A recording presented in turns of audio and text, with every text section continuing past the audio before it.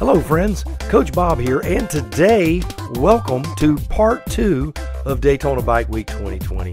We're going to be looking at the Harley Davidson Street Fighter, the Pan America, the Livewire, Main Street, get some grub, and then grab a nice sweet ride home. Enjoy it. Here we go. All right, so the engine you're looking at here is the engine for the new Harley Davidson Bronx. It's uh, actually what they call a street fighter, or as we call in the old days, a naked bike. And, uh, you know, that's what I ride in my uh, Triumph Speed Triple. Uh, the engine is a 975 uh, cc liquid cooled dual overhead cam engine. They say it's going to produce between 110 and 120 horsepower. Although that's really not that impressive, the 120 to 130 foot pounds of torque could end up being very impressive. Um, it is has a six-speed transmission and is uh, propelled by a belt drive, which you know for a naked sport bike with uh, that sort of torque, I would think that a chain might be a little more appropriate. That said, the Harley engineers are a lot smarter than I am. Now the bike, as far as top speed, it shows uh, on everything that I could find was showing a margin of 105 miles per hour to 118 miles per hour. With that sort of torque, getting there quickly can make it really, really cool. Uh, it has a single round headlight, alloy wheels, LED lighting all the way around, and riding modes. Um, one thing I didn't like has a big ugly radiator on it, and it comes with the typical Mickey Mouse ear mirrors, which means you're going to have to dump those and spend 100 bucks on a set of mirrors. The MSRP on the bike is supposed to fall somewhere between $12,000 and $12,700. The bike is definitely a step in the right direction, I think, for Harley as they're trying to get millennials on these bikes. And I really do like the way this bike, this bike looks. I can't wait to ride one. Another new release from Harley is the Pan America. Now, this is Harley's attempt at getting into the adventure bike market. Now, love it or hate it, it is kind of weird looking. I do kind of like the front end. Uh, there were a lot of people standing around saying they didn't like it, but I thought it looked pretty good. I think the lighting looks pretty cool. It really reminds me of the Moto Guzzi. It's a 1250cc uh, 60 degree double overhead cam twin, has a six speed transmission on it, has 145 horsepower, 90 foot pounds of torque. Now, Harley did put a chain on this one, which kind of surprised me. BMW has a drive shaft. I don't know if Harley's just trying to be different than everyone and put a belt on a naked sport bike and put a chain on an adventure bike as opposed to a drive shaft on the adventure bike. I don't know. I guess there again, only time will tell. We'll see. And next up is this beast here, the most controversial of the three, the Livewire electric motorbike from Harley Davidson. This machine will do 0 to 60 in 3 seconds. It has 105 horsepower and 86 foot-pounds of torque. As far as range, it is an electric vehicle. 98 miles in the city and then they say a combined mileage of 95 miles stop and go and or highway traffic combined. So I'm not quite sure exactly what that means. As far as sitting on this thing, it actually felt pretty natural with the exception of the fact that Once again, no clutch, no gear shift. It really, really is bizarre. It does feel good. It feels very, very sporty. One of the things that a lot of the motorcycles are kind of going to are these these subscription apps, and uh, this bike is no different with that. It allows you to check your charge level and have tamper alert and stolen vehicle tracking and and that sort of thing. So you know, although I think the features are cool, I'm not real fond of the idea that you have to pay a subscription fee after paying $30,000 for the base model. Um, looking at the charging here, there are two methods of charging. There's the level 3 DC, which is what you use like when you're out and about. It is going to be available, if not already available, at every Harley dealer in the country, which is pretty nice. Uh, takes 80% charge will take you 40 minutes, 100% charge will take you an hour, and at night you can go the old traditional route overnight and it will be 100% charged when you get up the next morning. But anyway, that's the live wire. Love it or hate it, it is the wave of the future.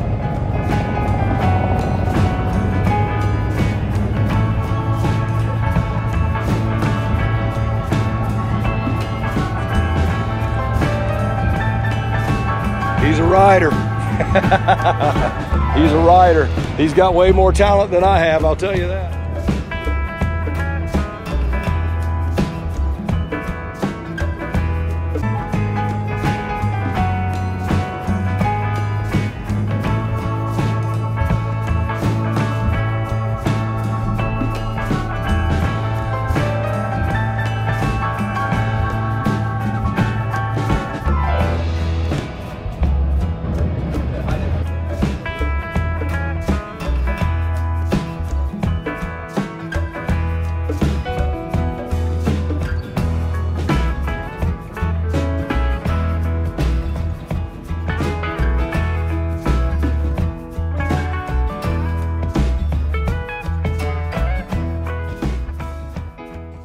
Gosh, that is insane.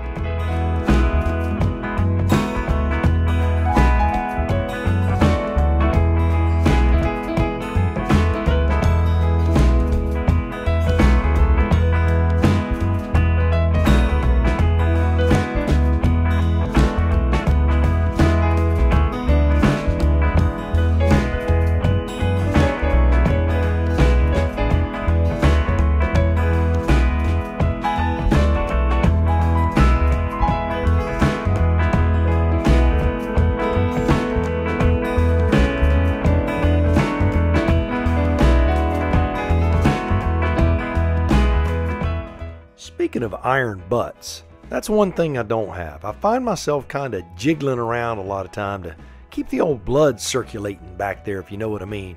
One of the things that we've noticed is that Coach Vic doesn't jiggle around. You know, being paralyzed and stuff, she doesn't know if she's developing a hot spot or a pressure sore or anything like that. So we went to this place called Butt Buffer.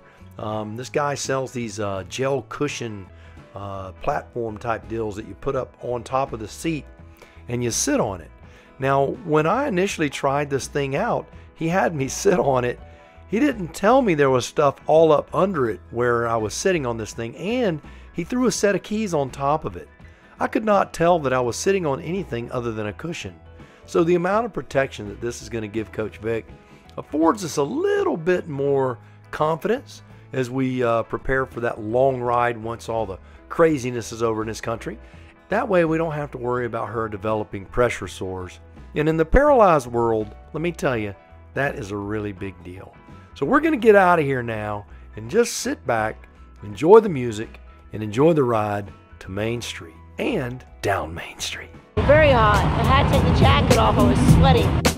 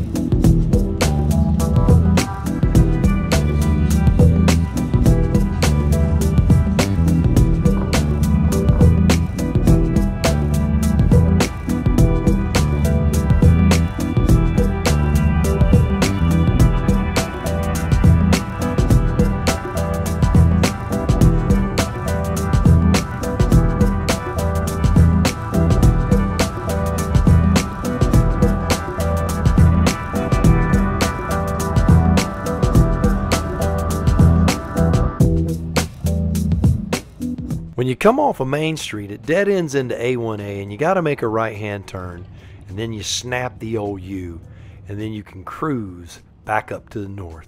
Because that's where we're headed. We're going to go north, and then we're going to make a left turn westbound and down back towards Tallytown.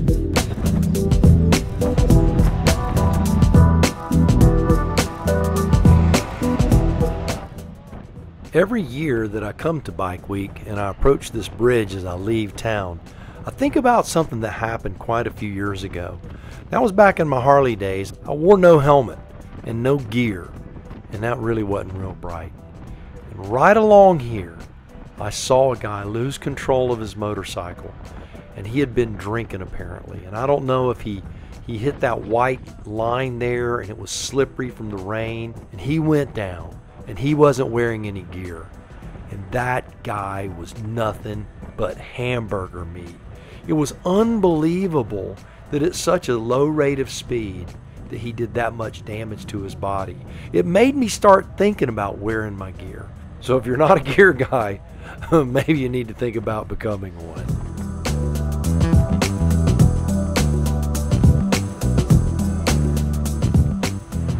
Dustin's Barbecue.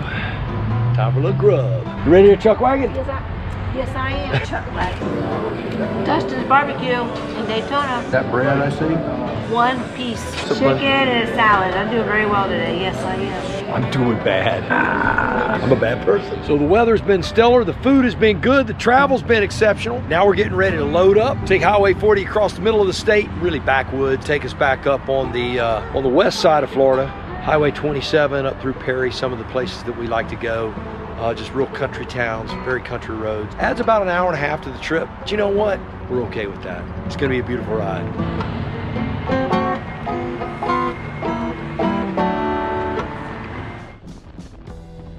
So we're rolling down Highway 40, and lo and behold, right behind a Can-Am Spyder RT. You know, it's amazing how many of these things we actually are starting to see on the road now. I do remember years ago I'd come over to Bike Week and I wouldn't see any. Uh, then it was a handful. And now I'm starting to see quite a few. I did get to talk to quite a few people. No subscribers yet, but we look forward to that day coming real soon as well. This is a beautiful ride across the state, though.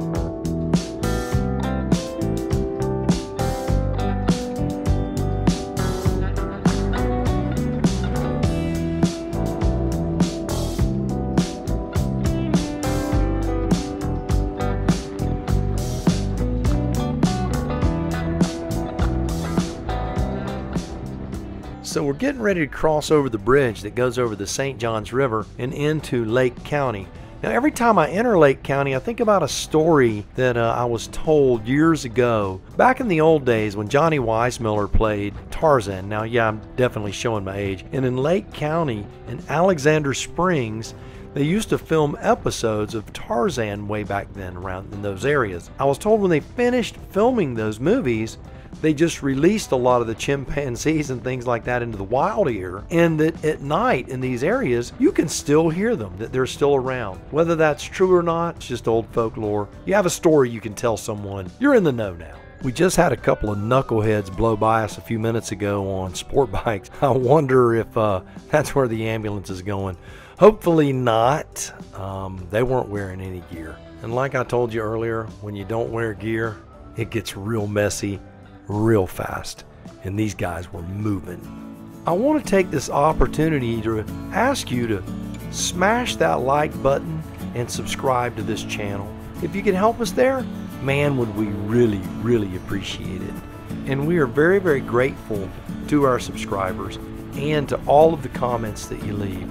They're very encouraging to us, way more than you'll ever know. Coach Vic and I love making this channel and we love putting in the time. This has been a great experience for us, and we hope to be able to do this for a long, long time. Thank you so much for making this channel what it is. So we pressed on through to Perry, stopped, got us a little gas, and the sun is starting to go down. The bugs are getting a little heavier, as you can see on the old windscreen. The ride has been very, very smooth. We are now on the interstate for that last stretch home it just isn't that much longer now. It's been a great trip. Wonderful time with Coach Vic and with all of the coronavirus, COVID 19 stuff going on. It just really has been a beautiful trip and a nice diversion away from all of this stuff. I pray that your family's safe and that things are going well for you. Take this time to be a little introspective and enjoy your family, enjoy yourself. Remember this you need to take care of yourself you need to eat right.